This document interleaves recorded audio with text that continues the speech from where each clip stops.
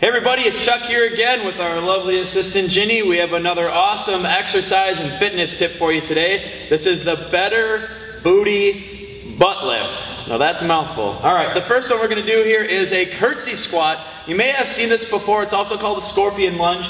Now Ginny's gonna step side to side and alternate her step, and she's gonna sweep her leg out behind her, and she's focused right on the edge of her glute, all right? So you really wanna sweep it out as far as you can to make sure you bend both knees, keeping your head and chest up. We'll show you one more rep here. Good. Now we're going to move into what we call a sumo or plie squat. She's going to go real wide and see how she has her toes turned out. She's going to track her knees over her toes, both hands down to the floor, and she's focused on getting as low as she possibly can.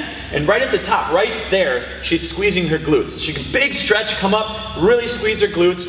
Both hands down to the floor, chest up, head up. Once again, really low, come up, and squeeze the glutes as hard as you possibly can. All right, great job, Ginny. So once again, that's your Better Booty Butt Lift for this week. Make sure you check us out on BetterBodyFitnessBootcamps.com. Download your seven-day free trial. Check us out on Facebook and Twitter, and make sure you become a part of the health revolution.